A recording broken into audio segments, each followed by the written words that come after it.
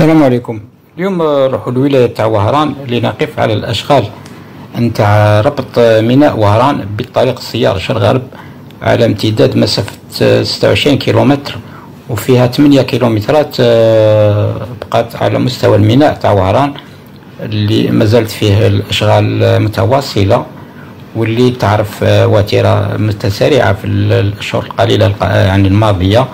وكذلك للعلم أنه هذا الجزء فيه عدة منشآت فنية من يعني وزن ثقيل يعني فيه الجسر عملاق وزوج أنفاق بطول إجمالي تاع زوج كيلومترات فاصل خمسة.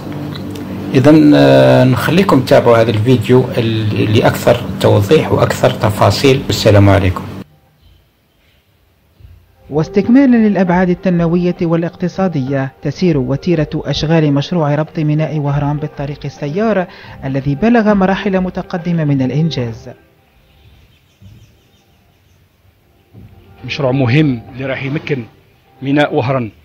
آه يعني من آه يعني آه ربط بأحسن بالنسبة لحركة المرور انطلاقا من طريق السيار يعني على مستوى مدينة الكرمة.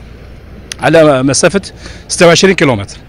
هذا المشروع اللي اللي رانا فيه يمتد على مسافة 8 كيلومتر. معناتها من 26 كاينة 8 كيلومتر اللي راهي في طور الإنجاز. هو مشروع يعني فيه 8 كيلومتر صح. لكن فيه عدة منشآت تتمثل في منشأة اولا بحرية على طول 1700 متر يعني كيلومتر 700 متر. آه، بالنسبة للإنجاز بلغت تقريبا 98% نحن الآن في بصدد تزفيت الطريق. المشروع أو المنشأ الثاني هو عبارة عن نفق طوله 930 متر. نحن الآن بصدد كذلك التزفيت. باقي كذلك les équipements électromécaniques المنشأ الثالث وهو يعني جسر عملاق طوله 680 متر. بلغة الإنجاز فيه 60% آه، والمنشأ الرابع هو عبارة كذلك عن نفق ثاني. طوله 1600 حوالي 1600 متر. آه، بقي منه إلا التسفيت.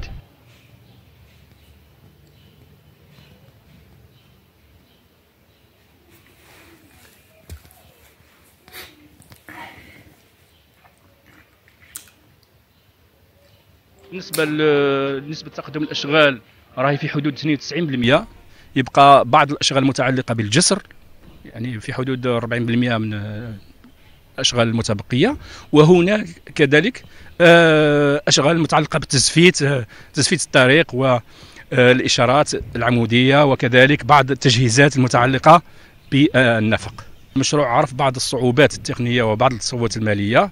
الآن هذه المشا... هذه المشاكل راهي راهي يعني يعني تجاوزناها آه، اليوم إحنا يعني راح نستناو يعني نهاية هذه الأشغال في حدود يعني في هذا العام يعني 2023 ان شاء الله. رايح ننتهيو من هذه الأشغال. حركة الشاحنات التي تدخل وتخرج ميناء وهران تقدر ب 1600 شاحنة يوميا. هذا الكم الهائل من الشاحنات يشكل حركة آه، ازدحام مروري هائل وسط مدينة وهران. بفضل هذا المشروع الطريق الاجتنابي الذي يعتبر تتميمة لمشروع هاوية وهران سوف يتم فك الخناق والحركة المرورية على مستوى مدينة وهران.